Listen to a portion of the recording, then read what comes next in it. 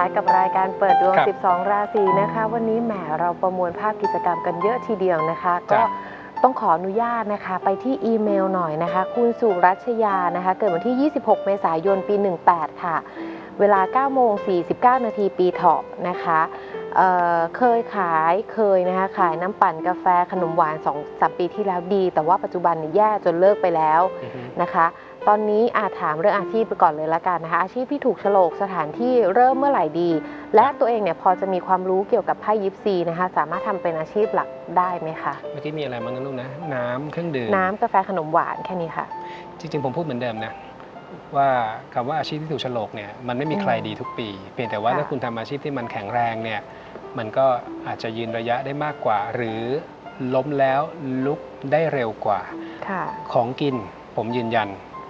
ว่าอืมระยะยาวทำได้เด่นกว่าของเหลวหรือว่าน้ำอ๋อนะฉะนั้นถ้าลองเป็นขนมหวานเนี่ยได้อ่าใช่ไหมคะคุณทำอะไรอร่อยเออของกินทำได้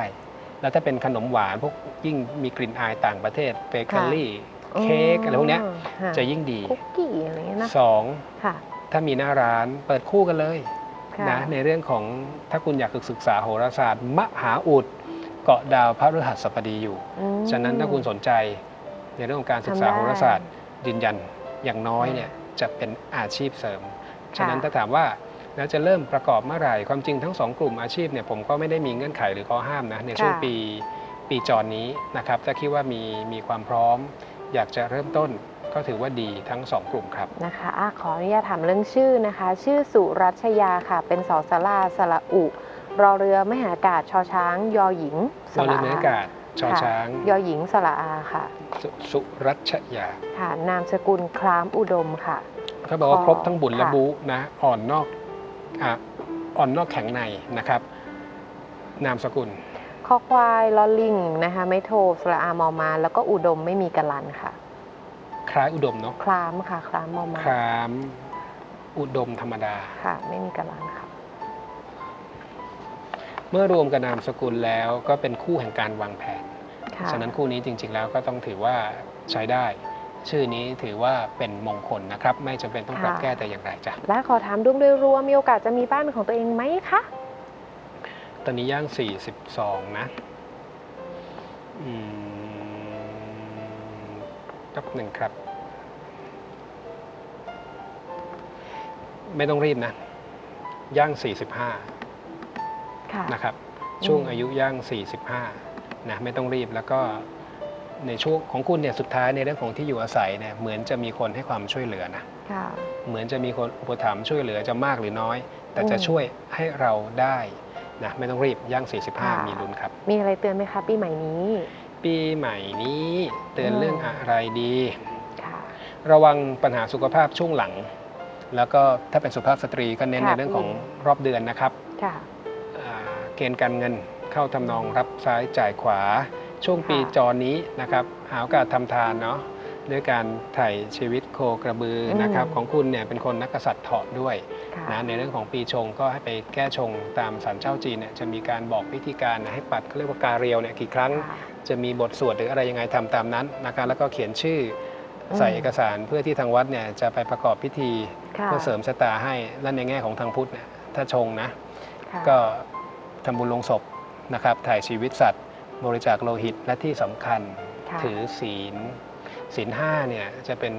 เกราะป้องกันที่แข็งแรงที่สุดค่ะนะให้ชีวิตเนี่ยอยู่ในกรอบที่ดีงามครับ ค่ะ ส่วนเรื่องนี้เดี๋ยวอาจารย์ก็จะนำมาพูดในรายการในวันถัดจ้ะๆไปนะคะครับคุณผู้ชมท่านอื่นสามารถส่งคำถามผ่านเข้ามาทางอีเมลได้เช่นเดียวกันนะคะ miracle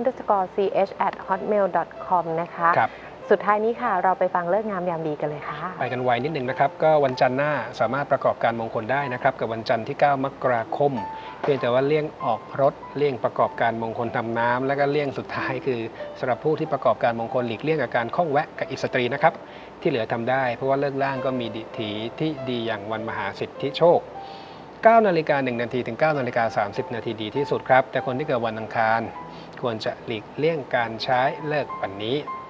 ต่อด้วยวันอังคารที่ 10 ต่อเนื่องกันเลยนะครับ วันนี้ไม่ได้มีเงื่อนไขหรือข้อห้ามแต่อย่างไร มีดิถีเรียงหมอน แล้วก็วันมหาสิทธิโชคด้วย ซึ่งเขาบอกว่าเป็นฤกษ์ล่างที่เป็นมงคลทั้งคู่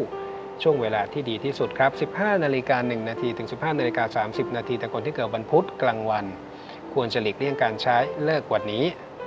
ต่อด้วยวันพระฤหัสบดีที่ 12 มกราคมนะครับเลิกล่างมีดีทีที่ดีอย่างวันลอย วันนี้ประกอบการมงคลใด ๆ ก็จะสะดวกรวดเร็วไม่ติดขัด ช่วงเวลาที่ดีที่สุดครับ9นาฬิกา31นาทีถึง 10นาฬิกาแต่คนที่เกิดวันพุธกลางคืน ควรจะหลีกเลี่ยงการใช้เลิกวันนี้